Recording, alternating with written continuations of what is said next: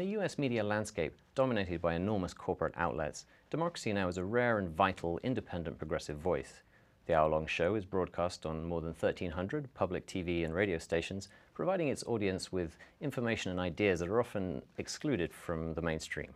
I'm joined today by Amy Goodman, host of Democracy Now! First of all, Amy, thank you very much for joining us. Great to be with you. Uh, and I'd like to ask first of all about the origins of Democracy Now! You set it up in 1996. Can you tell us about the landscape at that time and what it was you were trying to do with the project? We were the only daily election show in public broadcasting in the United States. Now, the fact that I was the host was interesting because my main question was why don't people vote in the United States? Or I should say, why do most people not vote? And I thought we could use the presidential election as a way to go from state to state to see what people were doing in their communities. I didn't think the answer was apathy. I thought they were maybe otherwise engaged because perhaps they didn't think there was a real choice by the presidential candidates that the parties don't present that diverse um, of positions.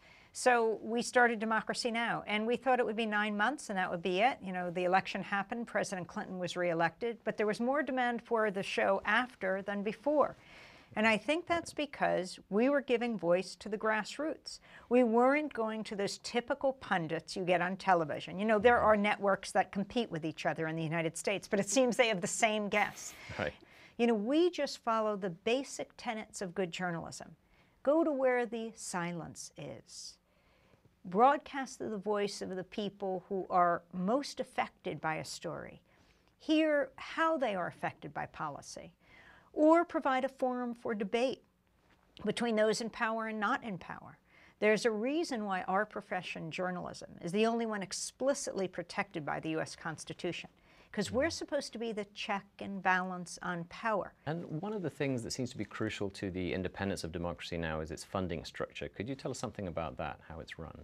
We began out of Pacifica Radio, which was founded after World War II, a war resistor who came out of the detention camps in California and said, there's got to be a media outlet that's not run by corporations that profit from war. His name was Lew Hill. And so Pacifica was born. It's a five radio station network in the United States in San Francisco, Los Angeles, Washington, New York, and Houston. And when the Houston station went on the air, it went on the air for a few weeks and it was blown up by the Ku Klux Klan. They strapped dynamite to the base of the transmitter, only radio station in the country to be blown up. Um, and when they got back on their feet and they went on the air again, the Klan blew it up again. But he said it was his proudest act. And I think that's because he understood how dangerous Pacifica is. Dangerous because it allows people to speak for themselves. And that's what Democracy Now! is committed to. When you hear someone speaking from their own experience, whether it's a Palestinian child or an Israeli grandmother, an aunt in Venezuela, or an uncle in Iraq, you say, oh, you start to understand a place where they're coming from. I didn't say you agree with it. How often do we agree with our family members?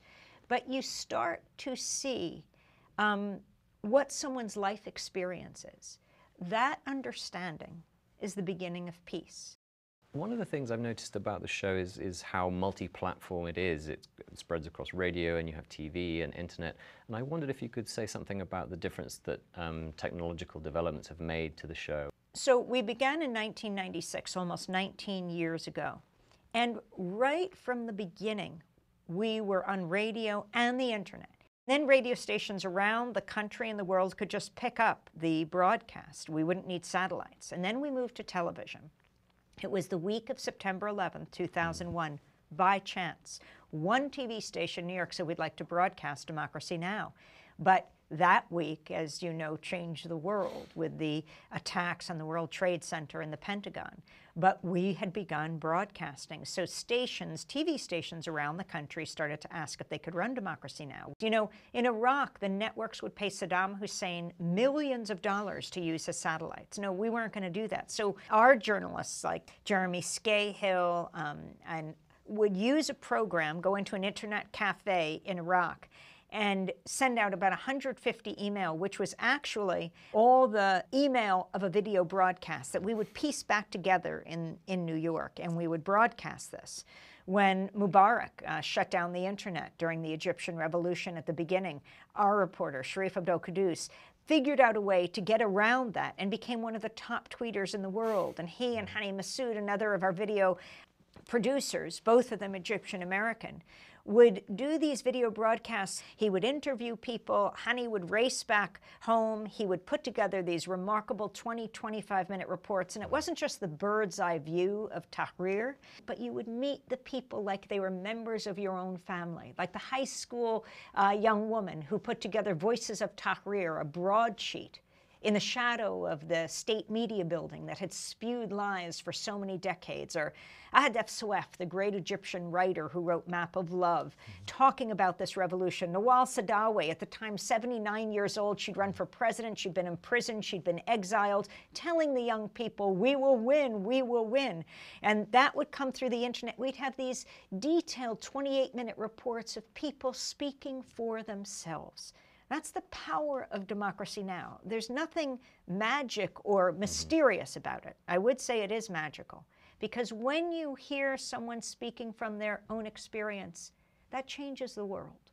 Mm-hmm. Uh, what are the criteria you use when choosing what to put in the show? Oh, every day we are. Um, we comb the internet, newspapers, talk to people. We travel around the world. We have reporters that we consult with all over the world. And we are a kind of organic brain trust of producers. I work with an amazing team of people. Mm.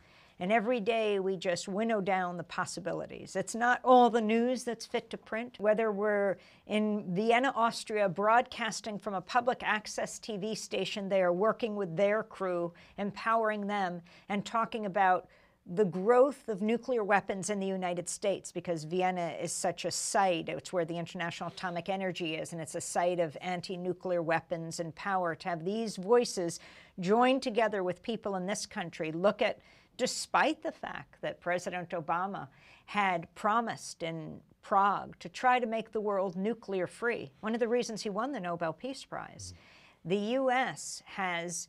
Uh, is rebuilding the nuclear arsenal to the tune of trillions of dollars, and few people realize this. So we go to Vienna and we tell this story. Now, for a long time, it's the corporations that have globalized. No one else could afford to.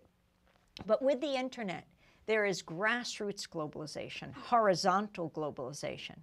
And we provide a media platform, whether it's radio, whether it's TV, whether it's the internet, where people can talk to each other as in so many places, democracy now is, is currently swimming against the political tides, and I was wondering what difference you feel the show can make concretely on the political situation here. You know, we have an audience that is growing exponentially. It is surprising. I mean, the networks have all of the money, and yet they're a losing audience. Why is this the case? Why are we on over 1,300 stations picking up about a station a week, radio, TV, or many readers, listeners, viewers on the internet? Because of those authentic voices that are describing their own experience. For so long, we've been dealing with these issues, whether we're talking about racial inequality, or we're talking about police brutality, or we're talking about the militarization of police. These are themes of our show because people at the grassroots, that's what they're concerned about. You have the wars in Iraq and Afghanistan. And what happens to the tanks and the automatic weapons when they are sent back? Well, the Pentagon thinks it's conservationist when it decides to recycle them. And what does that do to our hamlets and towns and communities and cities when local police forces, you know, police are supposed to be peace officers, mm. are using tanks and tear gas to control, they say. Others see it as attack the local population. These are issues we need to hear from people in their communities because the, they're the ones who are raising them, not just the minority elite. And I'm not talking about people of color on the networks. Mm-hmm. Mm-hmm. And so, where do you see democracy now going in future? What's next? Well, I hope we are a model for people all over the world to do their own media. Um, I think what we're doing is challenging the gatekeepers, the traditional networks that um, speak from on high. Uh, it is absolutely critical to get out in the streets. As Woody Allen said, 90% of life is just showing up. And you find stories and people, incredibly um, uh, empowering voices that have been working on the ground for so long. And I think people respond to that authenticity. In public media, the audience is getting older and whiter. In at Democracy Now!'s audience is changing the formula for all of these stations. It's reaching out to a more diverse, younger audience and keeping those older, the older audience and the um, bringing together the generations uh, from people with new, fresh eyes to older people with the wisdom that has been so long marginalized. Uh, that's what I hope we continue to do, is continue to reach out all over the world. We're also translated into Spanish, our headlines for radio and, um, and print. The idea is to reach out in different languages, to reach out throughout the world as we have been doing to unite people across the political spectrum in dealing with all of these critical issues. Amy Goodman from Democracy Now!, thank you very much. Thank you.